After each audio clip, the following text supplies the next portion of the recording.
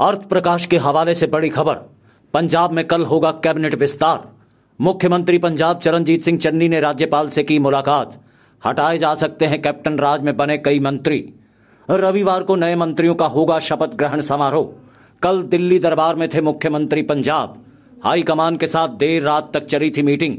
रविवार को होगा नए मंत्रियों का शपथ ग्रहण समारोह। राज्यपाल पंजाब ने दिया साढ़े चार बजे का समय। मुख्यमंत्री पंजाब ने भी दी जानकारी। ताज़ा अपडेट्स व बड़ी खबरों के लिए सब्सक्राइब करें आज प्रकाश टीवी और बेल आइकन दबाना न भूलें।